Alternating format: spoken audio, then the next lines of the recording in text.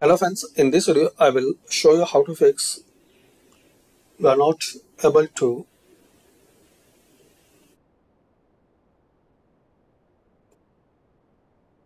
type small letter once you press caps lock so you are not able to type in small letters.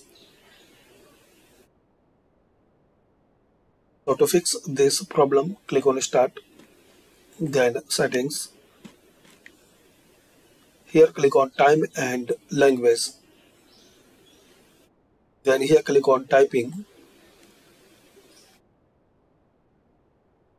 Here click on advanced keyboard settings.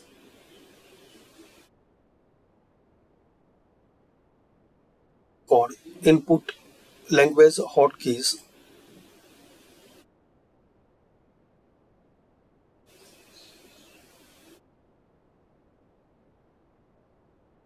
So just select to turn off caps lock, press the caps lock key.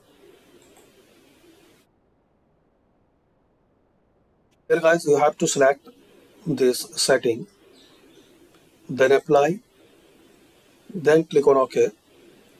Now try to turn off caps lock. Once you press, so you can now turn on and turn off caps lock by pressing on caps lock and you are able to type in small letters. So thanks for watching. This is the video to learn how to turn off caps lock in Windows 11.